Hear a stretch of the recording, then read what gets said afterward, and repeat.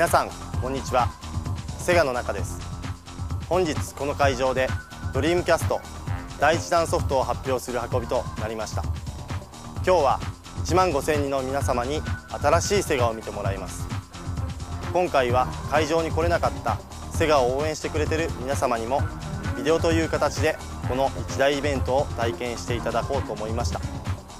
ぜひあなたの目で新しいソニックをご覧ください。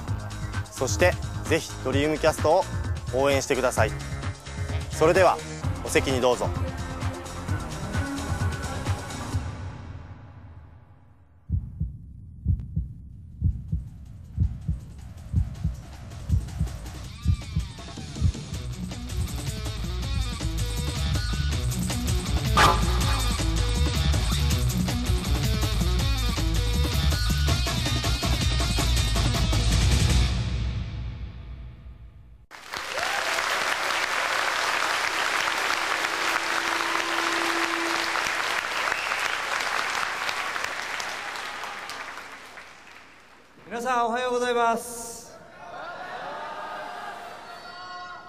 普段はあゲームの制作発表会っていうと非常に限られたあマスコミの人たちだけにお見せするんですけど。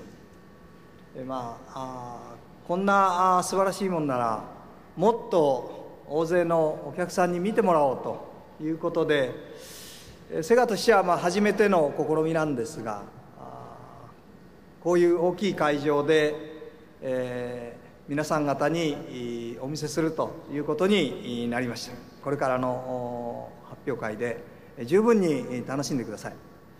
それではソニックアドベンチャー制作発表会をスタートしましょう。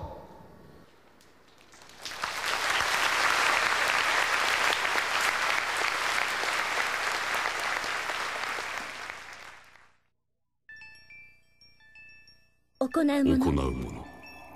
ソは七つの混沌。混沌は力。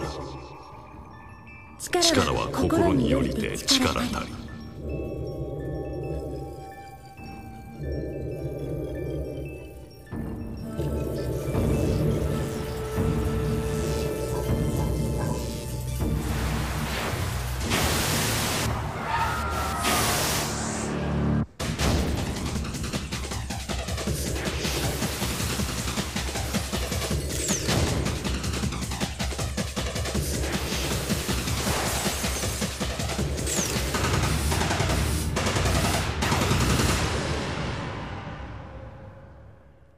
えー皆さんこんにちは、えー本日はソニックアドベンチャー制作発表会へようこそ、えーお越しいただきました、えーここからの進行は私クリス・ペトラーと浜谷優子でお送りしていきたいと思います。どうぞよろしくお願いいたします。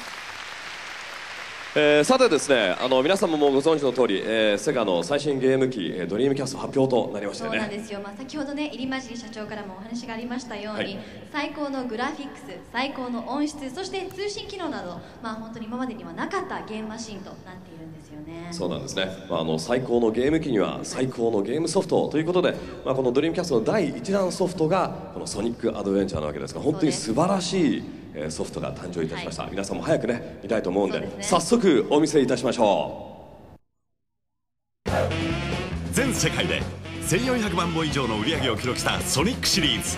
その最新作「ソニックアドベンチャー」がついに登場するソニックアドベンチャーは世界を代表するソニックチームがドリームキャストの全ての能力を引き出して作り上げた最高傑作である。128ビットだから実現できたかつて体験したことのない世界。夢と友情と冒険に包まれたロープレのような壮大なストーリー。3D になってますます冴え渡るハイスピードアクション。ソニックアドベンチャーはいわば超スペクタクルハイスピードロールプレイングアクションと呼ぶことができるだろう。それでは早速ソニックの世界へと冒険の旅に出てみよう。ソニックアドベンチャーには3つのワールドが存在する。近代都市ステーションスクエア大自然のジャングルミスティック・ルーイン空中要塞エッグキャリア。そしてこれら3つのワールドに数々のアクションステージが連結している。ソニックアドベンチャーのゲームワールドは今までにない広がりで果てしない冒険を君に約束する。冒険をするのはソニックだけではない。テイルズナックルズエイミー。そして今回初めて登場する新キャラクター E102 ガンマとビッグ。プレイヤーはこれら6人のキャラクターを使い6つのアクション6つのストーリーを進行していく。キャラクターたちは途中出会い別れ時には反発し時には協力しながらその友情を育んでいく。そして6つのエンディングを迎えた時。エメラルドに秘められた謎が解き明かされる。またサブキャラクター人工生命体 A ライフはさまざまな姿に成長させることが可能。さらにそれはドリームキャストに接続できる新形態ゲーム機ビジュアルメモリで外に持ち出すことができる。ソニックアドベンチャーの冒険の世界はもはやブラウン管を離れたところまで広がっているのだ。以上がこれまでのアクションゲームでは実現できなかった革新的なゲームシステムの全貌だ。そしてソニックアドベンチャーはそのステージを未来基準へと高めていく。いや浜谷さん大変なことになってますねこれね。そうなんですよ。本当にすごいゲームが誕ねこれ生しました、一つのゲームソフトですからね。そうです。ものすごいものがあるわけなんですけども。がでしょうかさて、えー皆さんもねこのソニックアドベンチャーもっともっと、えー知りたいとお思いじゃないですか？そうですよねそうだと思います。はい。ありがとうございます。ありがとうございます。はいということでですね、はい。えーこの超スペクタクルハイスピードロールプレイングアクションゲームソニックアドベンチャーについて詳しくご紹介していただく方をお呼びしているんです、ソニックアドベンチャーの生みの親とも言うべきもう皆さんねソニックファンならもうご存知の方だと思います。ソニックプロデューサー中裕二さんです。Producer of the Sonic Team Mr. Naka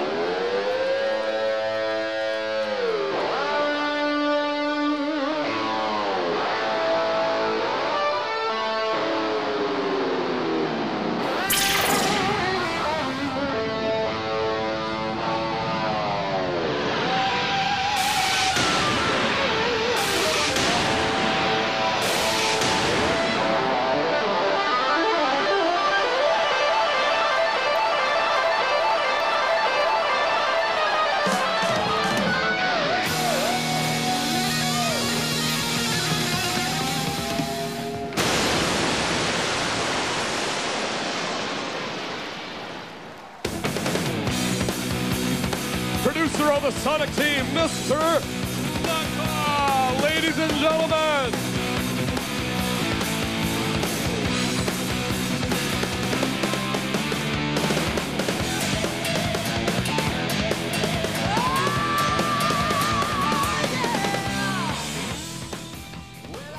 はいということで改めてご紹介しましょうソニックアドベンチャーの生みの親ソニックチームプロデューサーの中さんですどうぞよろしくお願いいたします。よろしくお願いします。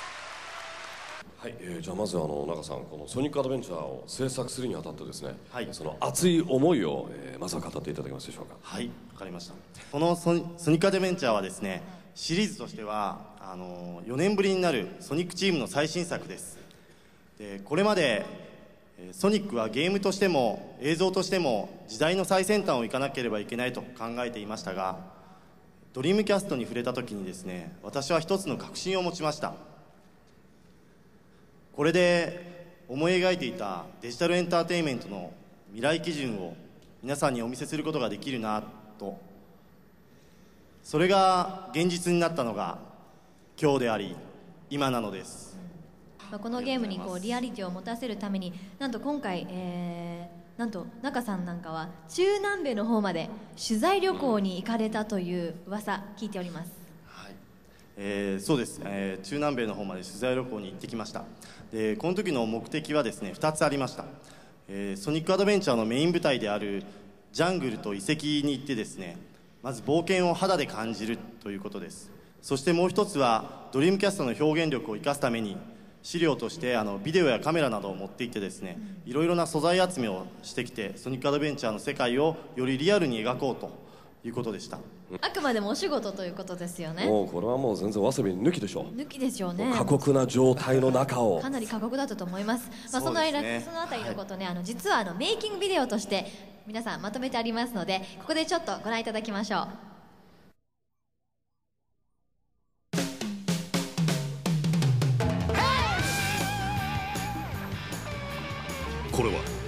新しいソニックを誕生させた。熱い男たちの物語である。ソニックチーム物語。ここソニックチームでは今日も皆思い思いの新ソニックについて考えていた。ソニックに足りなかったものはラブ。今度のゲームはソニックラブストーリーだ。もっとキャラを魅力的にしたいよね。こういうリアルなソニックはどうでしょう？これをなこうして振りかけるとソニックトニック。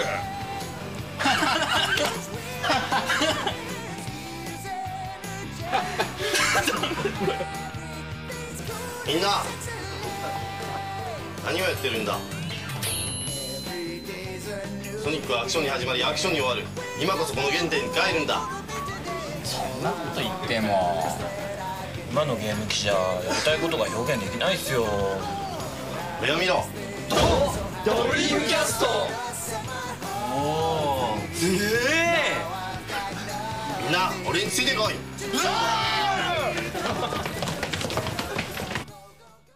かく してソニックチームの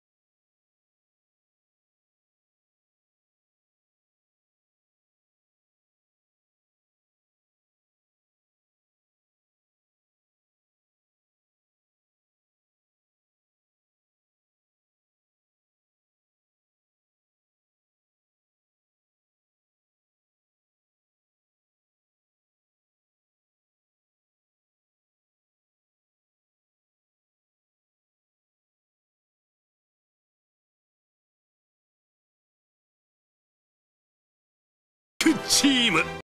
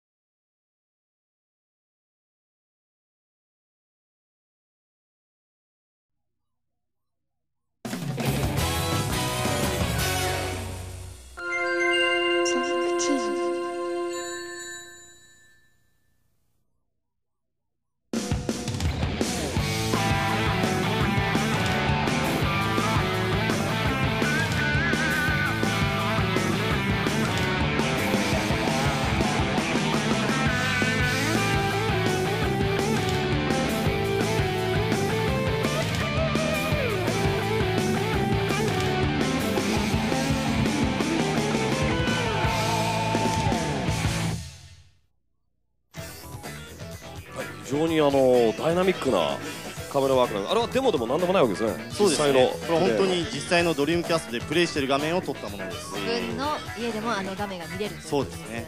はい。そしてもうすでにゲームの方はこれはちょっともう中の方見てるんですけど私結構こう 3D のアクションゲームというとどうしてもね道に迷いがちなんですけれど。そうですよね。本当に、えーまあ、そうなんですけども、えーソニックはあのスピードによる爽快感を感じていただくことが最優先ですので道に迷ったりすることのないようにカメラワークを工夫しています。あカメ工夫っていうのは具体的に言うとどんな？感じそうですね、えー地形に応じてですね自動的に最適なカメラに切り替える工夫をしています。3D のゲームですと歩いているうちにどこへ行けばいいのかわからなくなってしまうんですけどもソニックでは常に行くべき方向が画面に映るように設定しています。またあの高いところでは緊張感を演出するために上から下を見下ろすようなカメラになったりループなどは気持ちよく走れるように横から映すカメラになったりとダイナミックなアクションを演出する役割もあります。それならこうアクションゲームがちょっと苦手だなっていう人でももうすぐに楽しんで遊べますよね。そうですね。本当に誰でもできるようにね、ですごいやっぱりディテールが細かいですよね。この風景とかものすごい処理速度といいますかねすごいものがありますよね。下はあれ溶岩ですよね。続い。てこのステージ変わりましたけどこれは何なんでしょう？そうこれはミスティックルインとロストワールドです。ここはあのストーリー的に今回のち作品の中心となる遺跡のステージ。です、旅行中は数々の遺跡をし取材したんですけどもその中でも最大規模の遺跡ガテマラのティカルをモチーフに世界を構築しました。実際の遺跡をカメラで撮影してそのデータを加工してつ使ってあ使用してますので想像を超えたリアルな世界観を描けたんじゃないかなと思っています。さっきあのメイキングビデオで見たあの世界観が本当にもうそのまま生かされていますよね。もう石垣の一つ一つまでもすごいリアルなんですけどこのリアリティがアドベンチャー感を盛り上げてくれるわけですよね。実際のだからテクスチャーなんですよね。実実際その遺跡の本当にここに行ったような気分になりますよね、であの今度はこのステージは、えーこれはスピードハイウェイですね、今テイルスがプレイ中です。うん、これはあのテイルズっていうのはその6人のキャラクターの中の、えー、1人ということですけどね。そうですね、はい。えーそれぞれのキャラクターにはそれぞれに違ったストーリー違ったエンディングがあります、そして何よりそれぞれのキャラクターが全く新しいゲーム内容になっているんです、あ飛んでますねテイルズね。あ今なんかすごい可愛い女の子がモグラ叩きをやってますね。やってますね、これはあの結構6人のキャラクターみんなゲーム内容も少し違ってくるわけですよね。はい、えー先ほどの映像にあったテイルスはソニックとの追いかけっこがゲームの目的で、はい。このエミーは追いかけてくるエッグマンのロボットから隠れるようにして逃げるのがゲームの目的です、この E10 にガンマはアクションシューティングです。赤外線の照準レーザーを使って一度にたくさんの敵をロックオンして破壊することができます。そしてこれは？これはナックルズですね、ナックルズはレーダーをのレーダーのヒントを頼りにフィールドに隠された3つのマスターエメラルドのかけらを見つけ出すといういわゆる宝探しがゲームの目的です、で最後にビッグですけども彼は釣りがゲームの目的です。釣りをやるんですか？そうですね、はい。えーえー突然あの失踪してしまったあの友達のカエル君を今映ってるつそうですね。それを釣りを使って探し出すという内容です、でこの巨大なこれがエグキャリアと書いてありますけど要塞の飛び要塞という感じですね。そうですね。これ今回エッグマンが作った巨大要塞です。物々しいまさに悪の要塞という感じですけどね。そしてこれがあのトルネード号という飛行機の変形シーンです、このトルネード号を使っての 3D シューティングのミニゲームもあります。そういうミニゲームなんかもあったりさっきのモグラ叩きもあったりと、まあ本当にいろいろなゲームの要素が詰まっていました、これはこれが今そのミニシューティングのゲームですね。これは本当に先ほどのエッグキャリアに向かってあのトルネード号が突き進んでいく。これもなんかすごいリアルな画面ですよね。ね。すっげえ盛りだくですよはっきり言って。盛りだくさんでこれ一生かかっても遊びきれないんじゃないですか？これは何ですかこの可愛らしいやつは。えーこれはですね A ライフといってアーティフィアーティフィシャルライフ人工生命のことです96年に発売したナイツで初めて A ライフを導入し今回はそれをさらに進化させました。彼の名前はあのチャオって言います。チャオ。今度そういうチャオっていうふうに呼んでいただければいいなと思っています。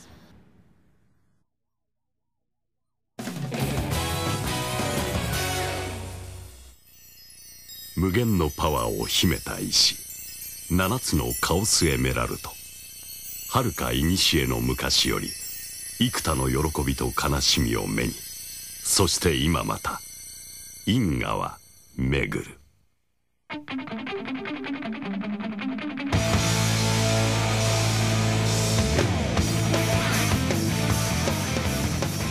Hello, everybody! My name is Sonic. ソニック・ザ・ヘッジホッグだとにかくじっとしちゃいられない誰も追いつくことはできないぜある日俺は街で謎の液状生命体と出会った。カオスっていうのかこいつ。どうやら悪の科学者ドクター・エッグマンが1枚噛んでるらしいな。はあ面白いことになってきた。エッグマンの思い通りにはさせないぜ。どうだ？俺についてこられるか？俺はソニック。ソニック・ザ・ヘッジホッグ。僕はマイルス・テイルス・パワー。機械いじりが大好きで性格はちょっとあったりしてるかな。ある日カオスエメラルドを動力に使った新型飛行機のテスト飛行中。エメラルドのパワーが強力すぎて飛行機は墜落しちゃったんだ。でもそこを助けてくれたのが僕の憧れのソニックだった。昔いじめられっ子だった僕を勇気づけてくれたソニック。よし一緒にカースエメラルドを探すんだ。今度は僕がソニックを助ける番だからね。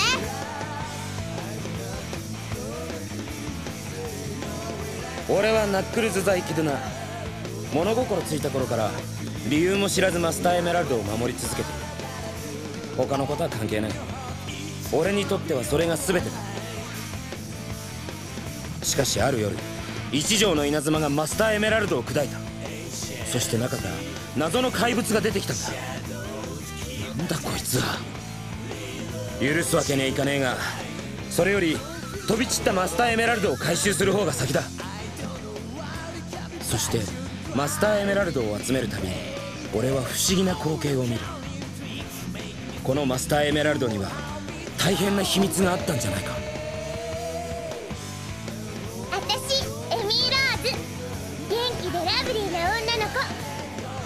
街を歩いてたらドクター・エッグマンの飛行要塞ニック・キャリアが襲ってきたの。そこから逃げてきた小鳥さん。やったー。エッグマンの繰り出したロボットが小鳥さんを狙って追いかけてくる。よーし。私に任せなさい。絶対あなたを守ってみせるから。E102 コードネームガンマドクターエッグマンに作られたロボットだ。ドクターエッグマンはマイマスター。マスターの命令は絶対だ。邪魔するものは破壊。青いハリネズミは敵。だが本当にこれでいいのか。私のなすべきことは本当にこれでいいのか？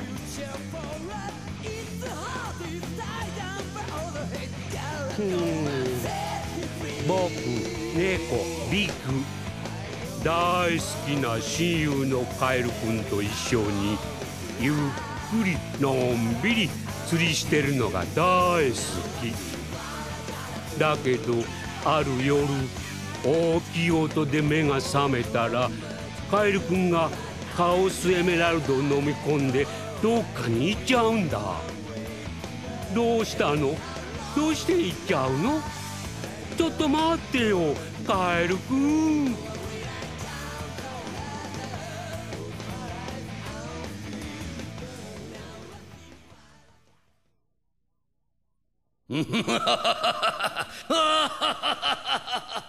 ソニックどもよ。わしがこの世に並ぶもののない天才科学者ドクター・エッグマン様じゃ。見たか？これこそがカオス。カオスエメラルドを与えるたび強力に変身していく怪物だ。こいつを使って街を破壊しそこにエッグマンランドを建設してくれる。破壊じゃ破壊じゃ。ソニックお前にカオスを止めることができるかな？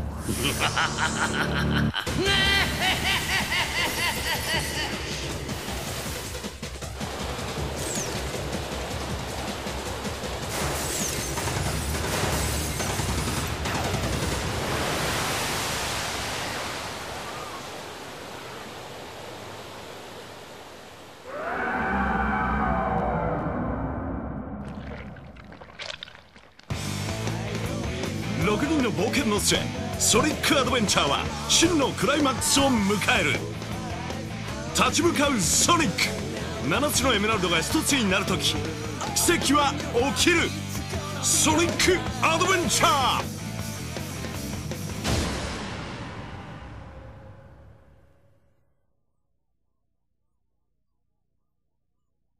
実はですねここに集まってくださった皆さんに素晴らしい企画があるんですよね。ね。中さん。えーそうなんです、えー今日ここに集まっていただいた皆さんの声を録音してですねゲームの中に入れようという企画です。 One、two、three、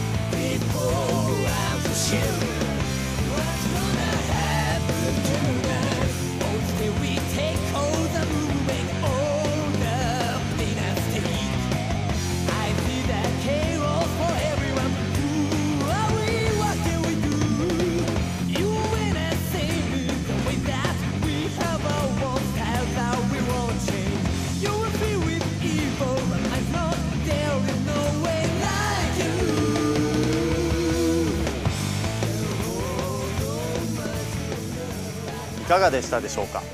ソニックの新たなる世界。我々は現在ソニックアドベンチャーを少しでも面白いものにしようと全力で制作しています。そして年末皆様の部屋でソニックが大暴れします。最後に会場ではお見せできなかった未公開映像を特別に少しだけお見せしちゃいます。それではソニックをよろしくお願いします。ありがとうございました。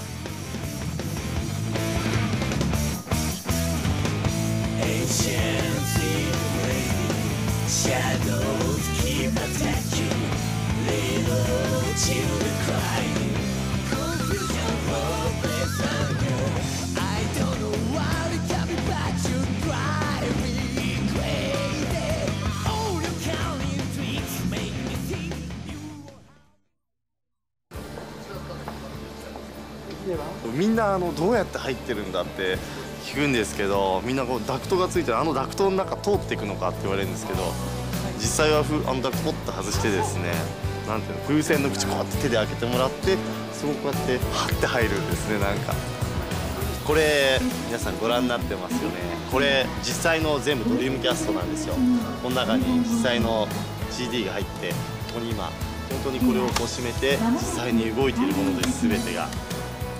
そうですけどさっきでゲームをお見せできるようになって最初は間に合うかどうかギリギリだったんですけどなんとか間に合って実際のドリームキャストで皆さんにお見せすることができて本当に良かったなと思ってます。